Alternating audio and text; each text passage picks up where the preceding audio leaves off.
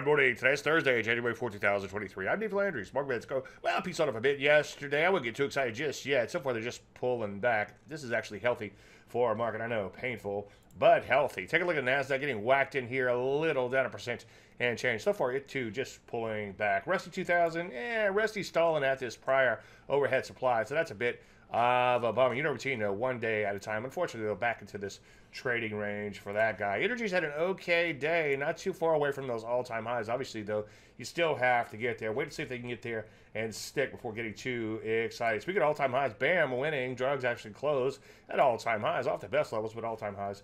Nonetheless, biotech looking pretty good in here, pulling back a little yesterday, like most areas did. Let's take a look at software. So far, it's just pulling back, looks pretty good longer term. Semiconductors selling off fairly hard. If they continue to slide, I would be concerned. So far, though, they're just pulling back too. So what do we do? Well, now the market's pulling back. I'm starting to see a plethora of setups. So continue to look to reload. Any questions, as usual, Dave at DaveLandry.com. Ooh, chart show tonight. I hope to see you there. I'm Dave Landry, and you start a market in a minute.